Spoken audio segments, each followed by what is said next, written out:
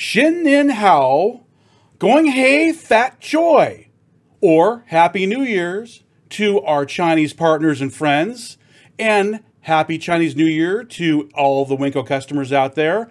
Uh, I'm Dave Guccione Gooch for Winco Fireworks, and this is our very first weekly update um, for our business to business with Winco Fireworks. Um, it is Thursday, January 27th, and so here we go. Let's get started. Um, talking about New Year's, New Year, new challenges. You know, we're everything's still there in place. Um, high freight prices. Um, we have price increases on product, unfortunately, um, heading into the new year. And all the supply chain challenges are there. And in some cases, they've improved slightly. And we, but we have other issues that have kind of set back the improvements.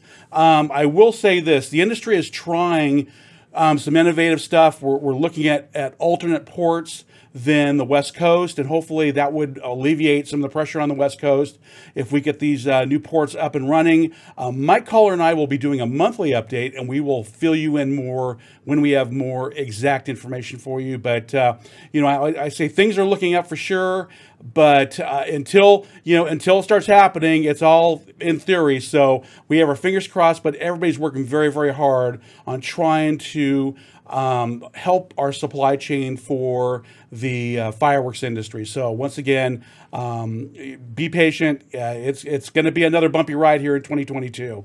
Um, price lists. We're you know, I was hoping to have Priceless out a little bit sooner, but I think uh, we're, we're looking at very soon would be the answer that I have today, and that could change possibly next week. But um, once again, we do pricing individually for all of the satellite warehouses and, of course, Grandview. So we're currently working on pricing.